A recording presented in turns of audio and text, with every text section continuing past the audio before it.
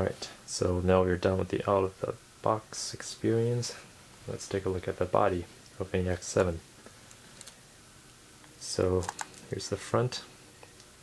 You have a pretty beefy grip here. It actually feels and smells like real leather, so it might just be real leather. This is uh, the IR sensor for remote, function button, shutter button, on off switch, uh, AF assist, so lens cap, lens release. On the side, these are the uh, ports. So on the top you have HDMI and USB. This lid opens on a hinge, unlike the other models. So a little fancier. Um, once again, HDMI, USB.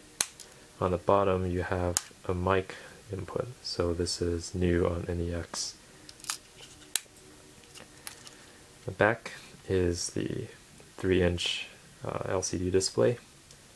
So this is tiltable. What you do is go this way and it comes right up. So you can tilt as much as 90 degrees to the body um, this way. So this is nice for street photography. Don't to look like a perp. And go the other way. This is for above the head shooting over a crowd. So pretty useful in my experience.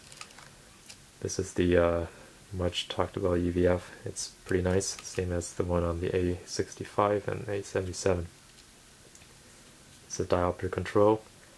Uh, flash, so this is uh, purely mechanical, so there's no battery in here right now, but I can still open it. So this pops up the flash. Flash is uh, the first included flash on NEX, and the next nice thing about this is you can tilt it back and do bounce flash off of the ceiling, which you can do with the NEX 3 or 5 with a little bit of do-it-yourself fix, but this one you can do it uh, right away like this. So this one comes back in here.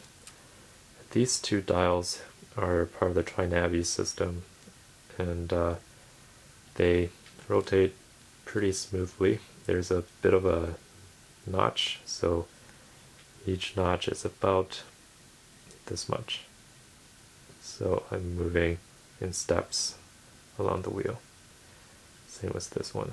They both feel um, identical, so you just have to remember which one is where when you're on the camera. Playback button. Um, autofocus, manual focus, switch, or auto exposure lock by pressing this button. This function you can change in the menu.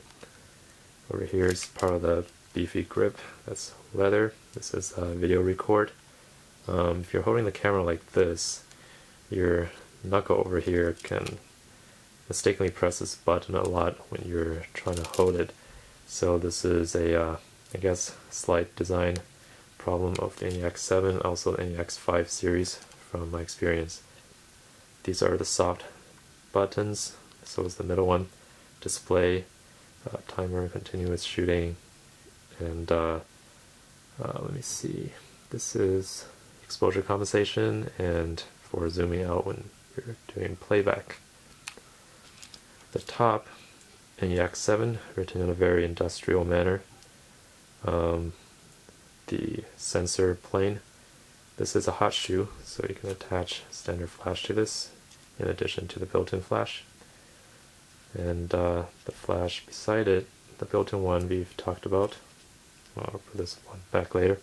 So these two dials we've also talked about.